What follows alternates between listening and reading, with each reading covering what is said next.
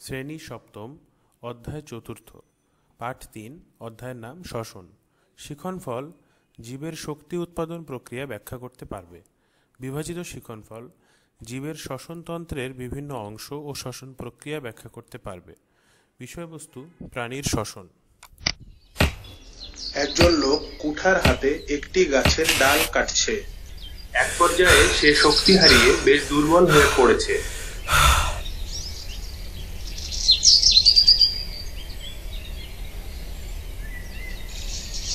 লোকটি ভাত খাচ্ছে।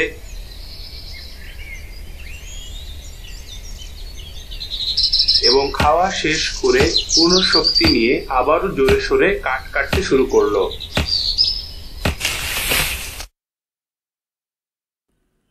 আমরা এই পর্যায়ে একটি ভিডিও দেখলাম। উপরের ভিডিওতে লোকটি কাঠ কাটার জন্য প্রয়োজনীয় শক্তি কোথা থেকে পেল? নিশ্চয়ই খাদ্য থেকে পেয়েছে। কিন্তু খাদ্য থেকে কোন প্রক্রিয়ায় লোকটির দেহে শক্তি উৎপন্ন হলো? শ্বসন প্রক্রিয়ায়। কেননা, উদ্ভিদ ও প্রাণী উভয়ের দেহে শ্বসন প্রক্রিয়ায় শক্তি উৎপাদিত হয়। এই পাঠে শ্বসনতন্ত্রের বিভিন্ন অংশ এবং শ্বসনের মাধ্যমে শক্তি উৎপাদন প্রক্রিয়া ব্যাখ্যা করা হবে। আমরা অগ্রসর হই। এ পর্যায়ে বাটনগুলো বাটনগুলোতে ক্লিক করে শ্বসনতন্ত্রের বিভিন্ন অংশের তথ্য জেনে নাও। যেমন, নাসারন্ধ্র ও নাসাপথ। নাসারন্ধ্র ও নাসাপথ। নাসারন্ধ্র হল নাসিকা বা নাকের ছিদ্রপথ। আমাদের দুটি বহিনাসারন্ধ্র রয়েছে। এটি দেহের বাইরে উন্মুক্ত এবং মুখ বিবরের তালুতে দুইটি অন্ত্রনাসারন্ধ্রের মাধ্যমে উন্মুক্ত রয়েছে। আর নাসাপথ হল নাসারন্ধ্র থেকে শুরু করে গলবিল পর্যন্ত বিস্তৃত নালী। নাসারন্ধ্রে লোম ও কোষঝিল্লি থাকে। নাক দিয়ে বায়ু গ্রহণ করার সময় বায়ুর ধূলিকণা ও রোগ জীবাণু এই লোম ও কোষঝিল্লিতে আটকে থাকে। একইভাবে রয়েছে নাসাগলবিল নাসা গলবিল এটি নাসাপথ ষড়যন্ত্র। এটি স্বর সৃষ্টি করে যা স্নায়ুরজ্জু বা ভোকাল কর্ড ফুসফুস। ফুসফুস হালকা শ্বাসনালী। বা ট্রাকিয়া। ব্রোঙ্কাস। শ্বাসনালী মধ্যচ্ছদা। এটি বক্ষ গহ্বর এবং উদর গহ্বরকে জীবদেহে শ্বসন প্রক্রিয়ায় শক্তি উৎপাদিত হয়। শ্বসন প্রক্রিয়ার দুটি পর্যায় রয়েছে। যথা বহিঃশ্বসন ও অন্তঃশ্বসন।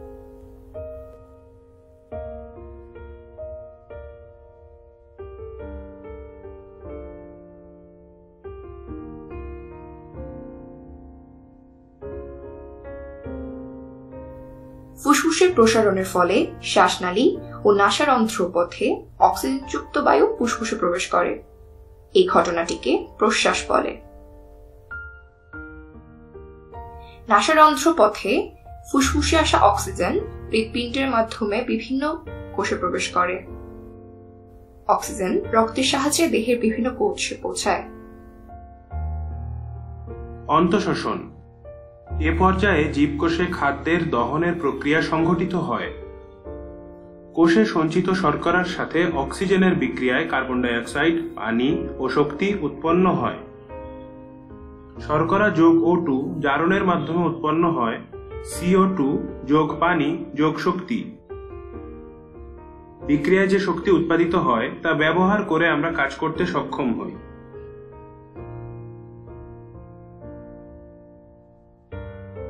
এই রাসায়নিক বিক্রিয়ায় উৎপাদিত কার্বন ডাই অক্সাইড রক্তের সাথে মিশে হৃৎপিণ্ডের ভেতর দিয়ে ফুসফুসে প্রবেশ করে।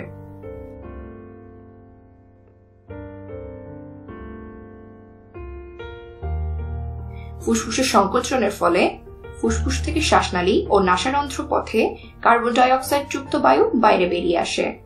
এই ঘটনাটিকে নিঃশ্বাস বলে।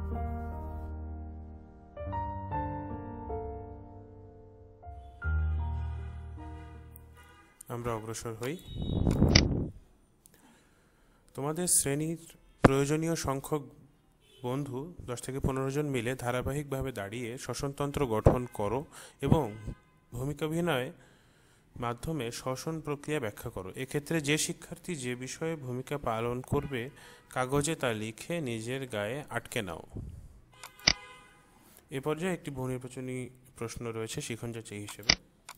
যদি ভুল হয় তাহলে লাল ক্রস আসে, যদি ঠিক হয় তাহলে সবুজ রঙের টিক চিহ্ন আসে।